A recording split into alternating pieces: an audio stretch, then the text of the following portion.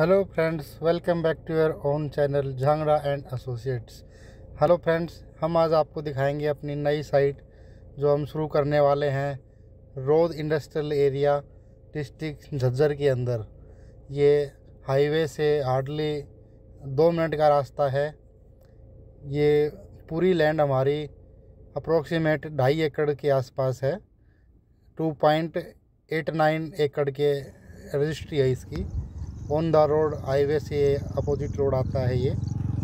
इस main road के ऊपर ये फैक्ट्री हमें कंप्लीट बनानी है। देखो, ये अभी हमने कॉर्नर का, ये फाउंडेशन का मार्किंग किया है।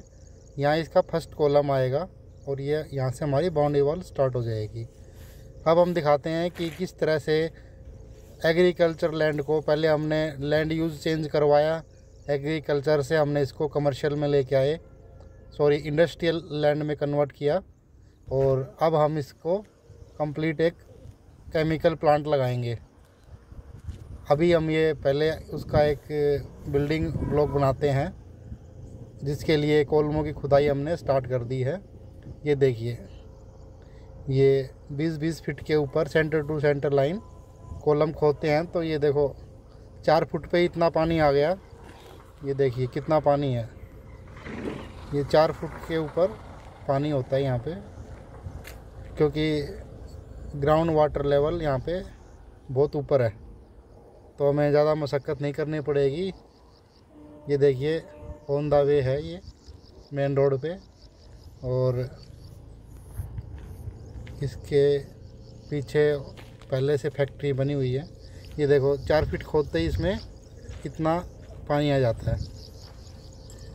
पहले हमने साइट की ड्रेसिंग करी कंप्लीट अब बाउंड्री वॉल के लिए कॉलमों की खुदाई स्टार्ट करेंगे। और एक एक करके पहले इसका बिल्डिंग का इंफ्रास्ट्रक्चर बनाएँगे। ये कलवर्ट बेसिकली फार्मर्स का है और ये कलवर्ट हमारा इधर से जा रहा है। इसको भी हमें कन्वर्ट करके और इसमें हुम पाइप डाल के ना, हम कवर तो दोस्तों, ये था हमारा एक नया इंडस्ट्रियल प्रोजेक्ट उम्मीद है आप इस वीडियो को ज़रूर ज़रूर लाइक करेंगे शेयर करेंगे और सब्सक्राइब करेंगे, ताकि हम आपको नए नए वीडियोस इसी तरह से भेजते रहे। धन्यवाद। जय हिंद। जय भारत।